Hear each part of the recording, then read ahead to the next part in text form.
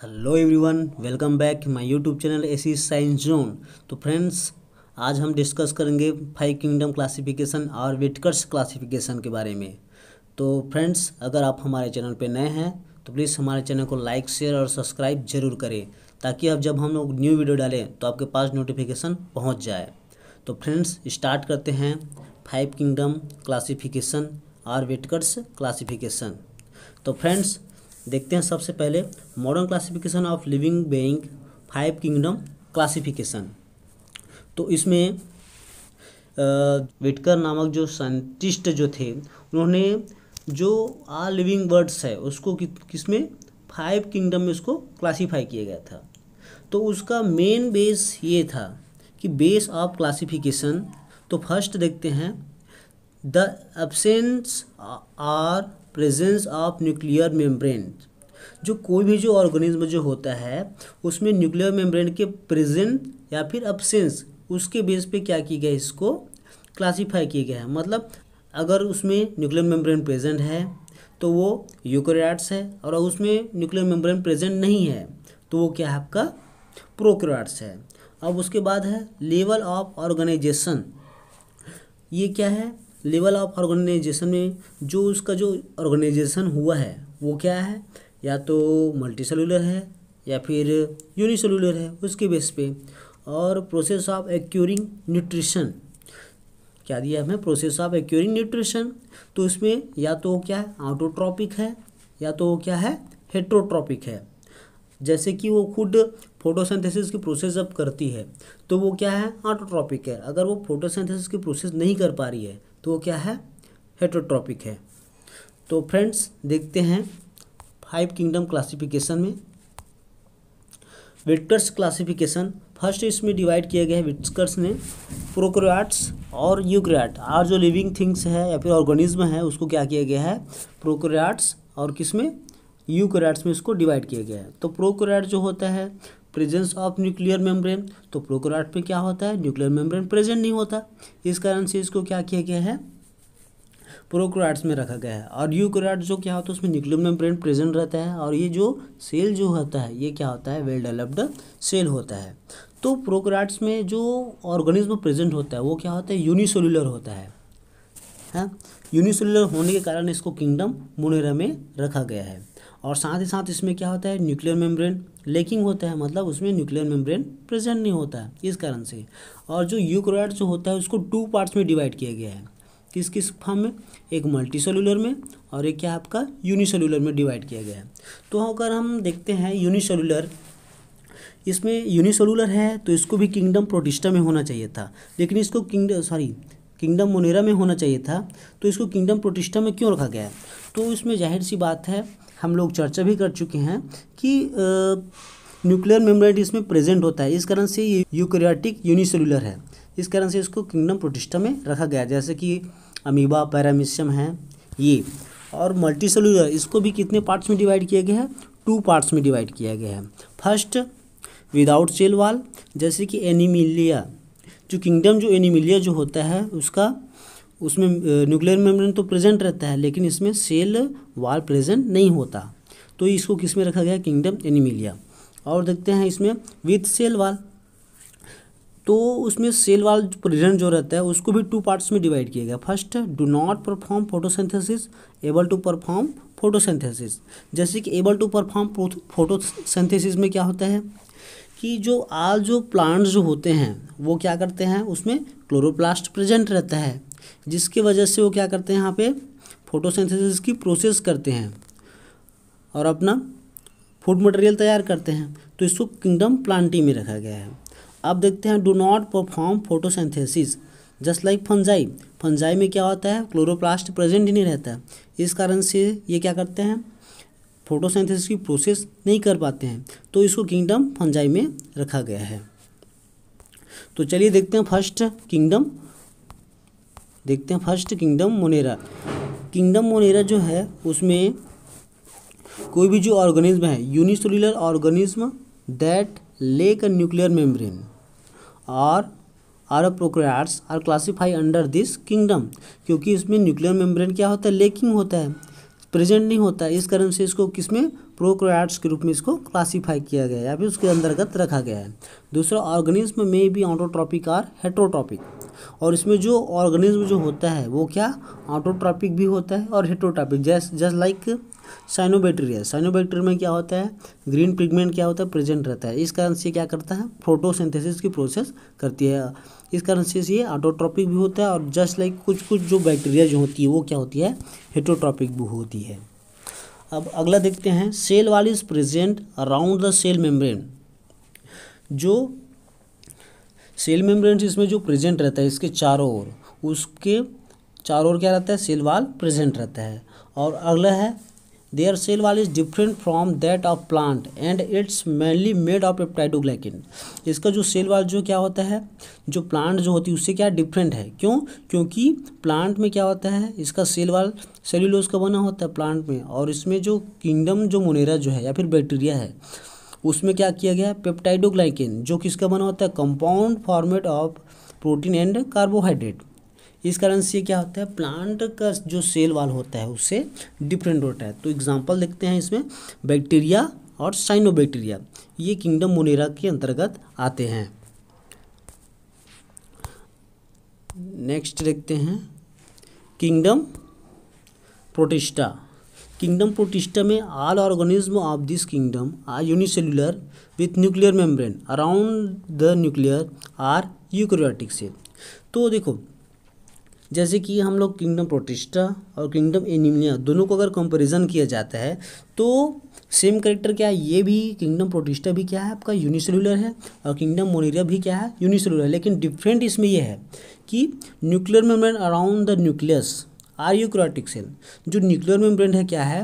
Nucleus के चारों ओर क्या होता है? प्रेजेंट रहता है। इसी कारण से इसको यूक्रोटिक सेल बोला जाता है। Second organism can be both autotrophic और heterotrophic.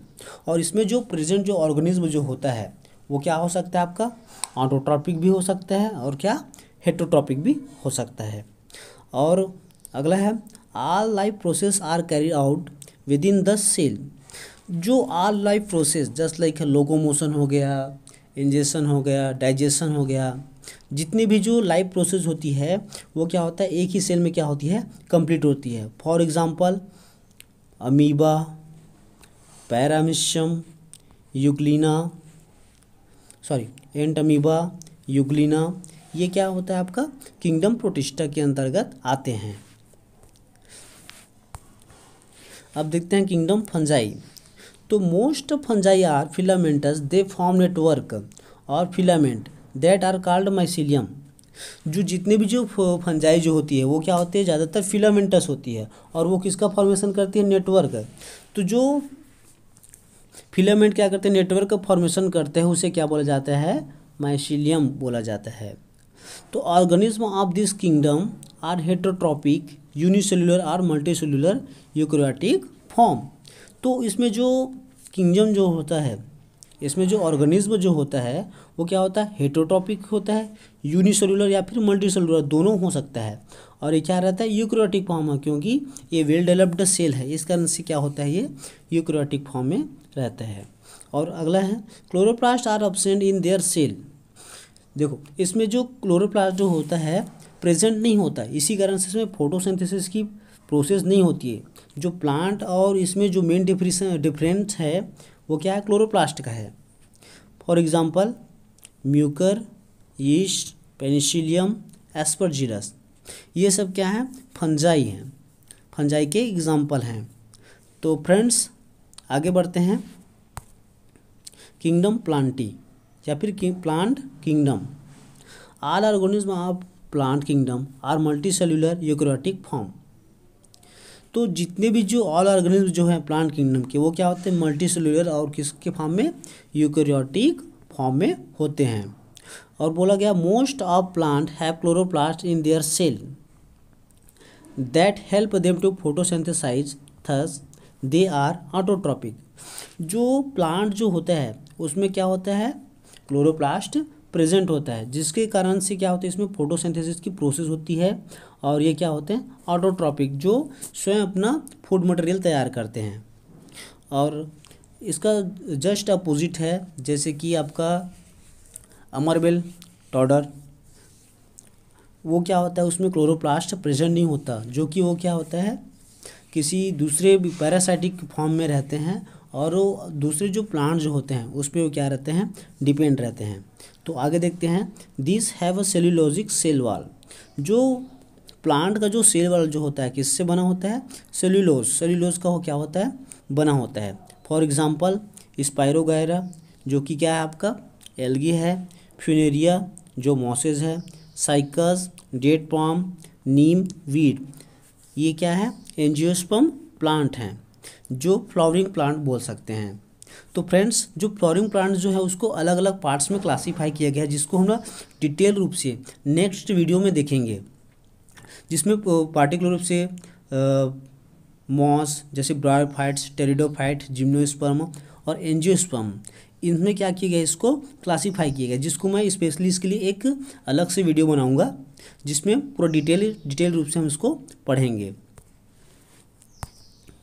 Next animal kingdom animal kingdom में organism of this kingdom are multicellular eukaryotic heterotrophic form तो जितने भी एनिमल किंगडम के जो ऑर्गेनिज्म होते हैं, वो क्या होते हैं? मल्टी सेलुलर होते हैं। और क्या है? यूक्रोटिक और हेटोट्रॉपिक फॉर्म, जो कि इसमें क्लोरोप्लास्ट प्रेजेंट नहीं होता है। इस कारण से क्या होता है?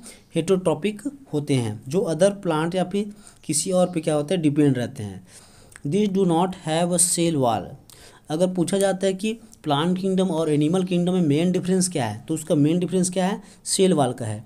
जैसे कि एनिमल में क्या होता है? सेल वाल प्रेजेंट नहीं होता और प्लांट में क्या होता है? सेल वाल प्रेजेंट होता है। यही इसका मेन डिफरेंस है। अब देखते हैं it did not have chloroplast देखो इसमें बोला गया था ये हेट्रोटॉप इसलिए क्योंकि इसमें क्लोरोप्लास्ट प्रेजेंट नहीं होता। है अगला mode of nutrition in mainly by ingestion they have a specialise organ of intake of food as for example butterfly have juice sucking tube human have mouth bird have beak etcetera तो जैसे कि आल जो organism जो होते हैं, उसमें nutrition के लिए क्या होता है? एक स्पेशलाइज्ड ऑर्गन होता है। जैसे कि इनटेक करने के लिए, अंतर्ग्रहण करने के लिए। तो एग्ज़ाम्पल के रूप में बताया गया है butterfly butterfly have a juicing juice sucking tube तो बटरफ्लाई में स्पेशल ऑर्गन क्या है उसका? Sucking tube sucking tube present रहता है. और human have mouth bird have beak जैसे कि ह्यूमन में क्या होता है? माउथ होता है. उसके थ्रू हम लोग क्या करते हैं? फ़ूड मटेरियल को लेते हैं. और, जो बर्ड्स हैं तो उसमें बीक बीक पाई जाती है. जिसके थ्रू वो क्या करते हैं? फ़ूड मटेरियल को अंदर लेते हैं, फिर ग्रहण करते हैं. और most of the animal have specialised organ for movement जैसे कि जितने भी जो एनिमल्स होते हैं, उसमें स्पेशल ऑर्गन प्रेजेंट होता है किसके लिए? मोशन के लिए या फिर मूविंग के मूवमेंट के लिए। जैसे कि हम लोग ह्यूमन बीइंग में क्या आता है? ह्यूमन बीइंग में आपका फुट रहता है, दो दो पैर रहते हैं और जो एनिमल होते हैं उसमें, है ना? फोर फुट होते हैं। इस तरीके से सब में स्पेशलाइज्ड ऑर्गन प्रेजेंट होते हैं। और, जैसे कि बर्ड्स वर्ड्स के हैं, उसके लिए फीदर फीदर प्रेजेंट रहते हैं, जिसके थ्रू वो क्या करते हैं, उड़ते रहते हैं। For example lion fish man hydra tapeworm mussels etcetera क्या है एनिमल किंगडम के अंतर्गत आते हैं। Thank you friends for watching my video